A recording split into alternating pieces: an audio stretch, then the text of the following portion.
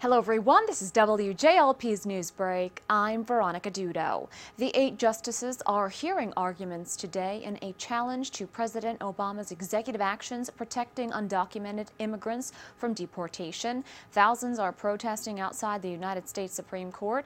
The court's decision could decide whether the United States will allow millions of immigrants already living here without documentation to stay or be deported. Fire officials say a fire has displaced two people in Point Pleasant.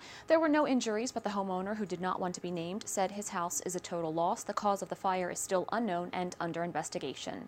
Today is the last day for most individuals to file their 2015 federal income tax returns to the IRS or to request extensions. For more on these stories, visit app.com.